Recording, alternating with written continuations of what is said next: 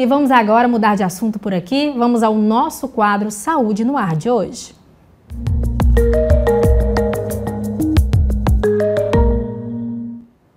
Uma nova variante do vírus HIV está circulando no Brasil. Segundo um estudo da Universidade Federal da Bahia e da Fundação Oswaldo Cruz, os pesquisadores encontraram quatro registros do vírus recombinante no país, nos estados da Bahia, Rio de Janeiro e Rio Grande do Sul. Até o momento, não foram registradas infecções por essa variante em outros países. E para entender melhor, mais detalhes sobre esta nova variante, estamos recebendo aqui em nosso estúdio o infectologista, o doutor Luciano Mourão. Bom dia, seja bem-vindo participando aqui do nosso quadro Saúde no Ar para falar de um assunto que tem repercutido ao longo de toda a semana, que é essa questão da nova variante, é algo preocupante.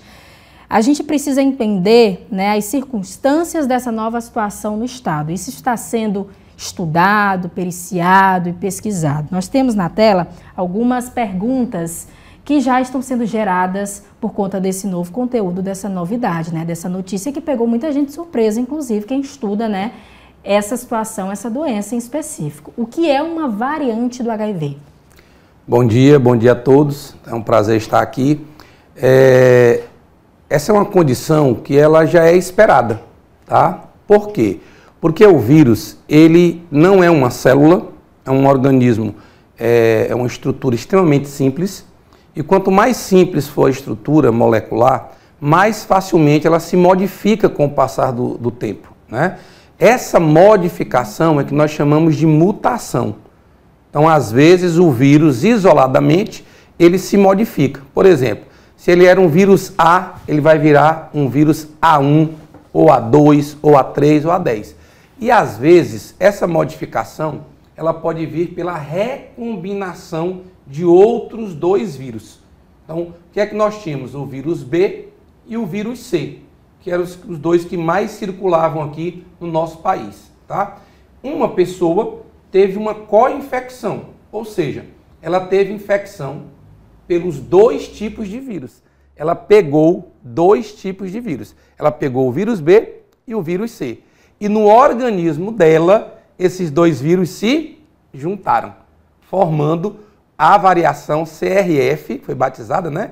De CRF 146BC, que é a junção desses dois vírus. Então, na realidade, variante nada mais é do que uma modificação de um vírus, que pode também acontecer com bactérias, com outros organismos que causam doenças. E o vírus é um dos que mais tem essa capacidade de se modificar com o passar do tempo, que nós chamamos de variação, nós chamamos de recombinação e, se for o indivíduo isolado, a gente chama de mutação. Vamos à nossa pergunta 3, que está aí na tela. Quais são os riscos associados? A pergunta 3, por favor. Quais são os riscos associados a novas variantes do HIV? Então, veja bem. Quando surge uma nova variante, né, a ciência, os pesquisadores, eles ficam aguardando como que essa variante vai atuar no corpo dos indivíduos. Então, como essa variante foi descoberta pela primeira vez aqui no Brasil em 2019, tá? E a gente não tem registros dessa variante em outros países, não quer dizer que não tenha, não tem registrado, tá?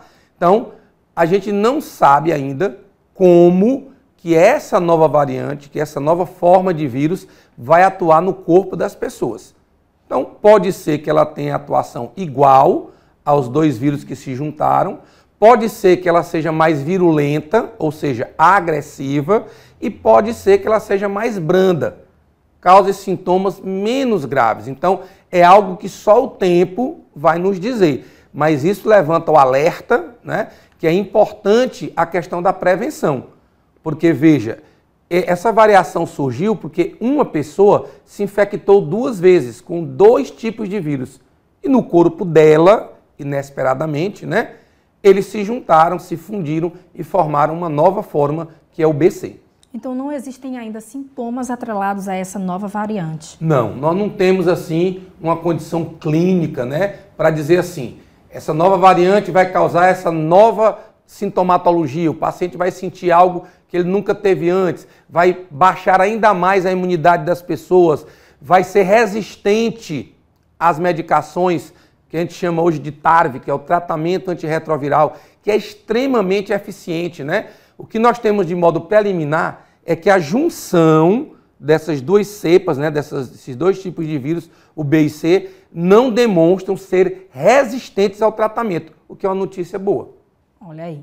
Vamos agora pular lá para a pergunta 6. Os testes de HIV, né, para o diagnóstico de HIV, são eficazes contra essas novas variantes?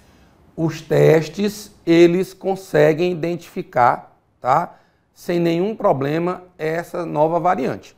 Os testes que são utilizados hoje, eles identificam todos os tipos de vírus. Então, a pessoa pode, né, se ela tiver desejo de investigar se está ou não infectada pelo vírus, ela pode ir em qualquer serviço de saúde, lá ela faz um teste rápido, né, furadinha no dedo, e em questão de 15 minutos no máximo, o resultado sai e é um resultado confiável. Tá? Isso é feito gratuitamente pelo SUS então as pessoas podem procurar e fazer esse teste se tiverem dúvidas. Então, pessoas que, por exemplo, tiveram relações sexuais sem o uso do preservativo ou, ou que o mesmo tenha estourado, né? Pessoas que se feriram com objetos pérfuro-cortantes, tá certo? Pessoas que são usuárias de drogas injetáveis, que compartilham. Então, essas pessoas, elas podem procurar o serviço e fazer o teste e que vai identificar todas as variantes.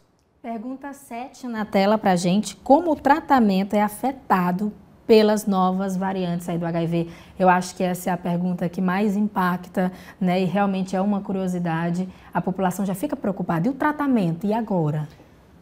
A população pode ficar tranquila, né? Pelo que nós estamos percebendo aí dos primeiros casos, é que o tratamento continua sendo eficaz, tá certo? Mesmo com essa nova variante, até o momento, as pessoas que estão infectadas, é, o resultado do tratamento é efetivo. Né?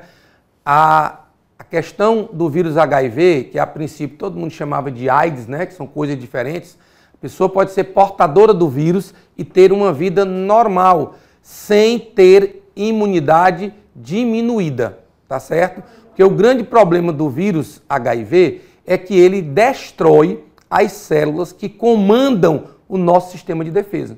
Então eles destroem a nossa imunidade. A pessoa fica com uma célula chamada CD4, que é a comandante do nosso sistema de defesa. Essas células caem abruptamente nas pessoas infectadas pelo vírus. E aí, quem vai causar o problema não é o vírus. Como a imunidade caiu muito, qualquer outro parasita de qualquer doença, por mais simples que seja, uma gripe, uma dengue, qualquer doença leve, leve, banal, pode se tornar uma doença terrível, causar internação e óbito. Então, o grande problema do vírus HIV é a destruição do nosso sistema de defesa. É como se você tivesse uma casa com muros altos, com cerca elétrica, com cachorro, com trava, totalmente protegida. E de repente todas essas proteções fossem retiradas. O que aconteceria com essa casa? Seria roubada todo santo dia. É, realmente a analogia é muito importante e leva a gente a discutir também e falar a respeito da importância da prevenção, evitar tudo isso. Exatamente. Né? Então, o surgimento dessa variante mostra que o vírus continua se modificando com o passar do tempo. Ele continua se recombinando, sofrendo mutações.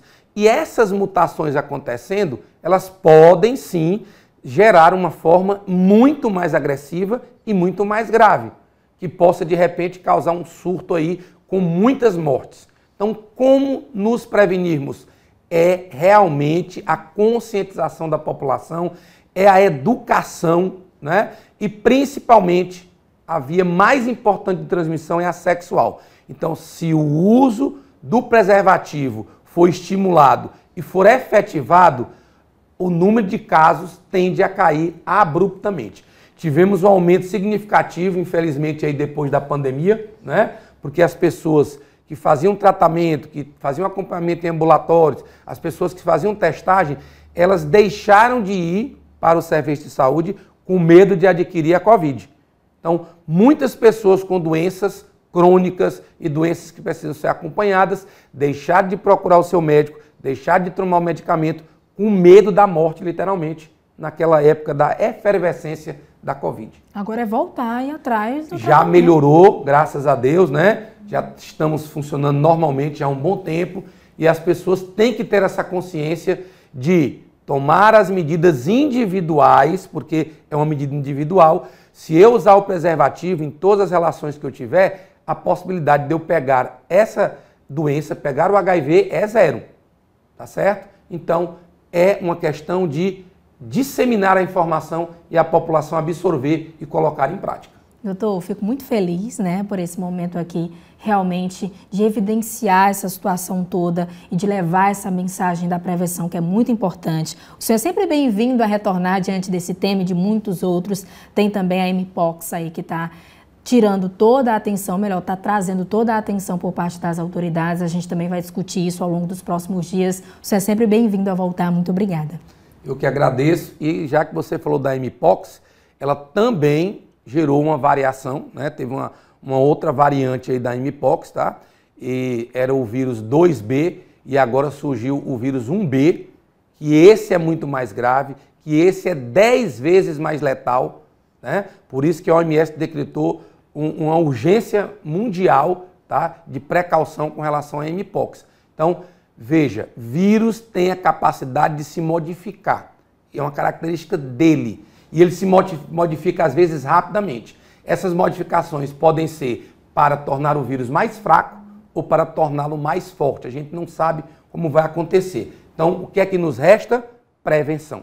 É isso. Muito obrigada. Você é sempre bem-vindo a retornar. Obrigado e um bom dia a todos. Bom dia ao senhor. Esse foi o nosso Saúde no Ar de hoje.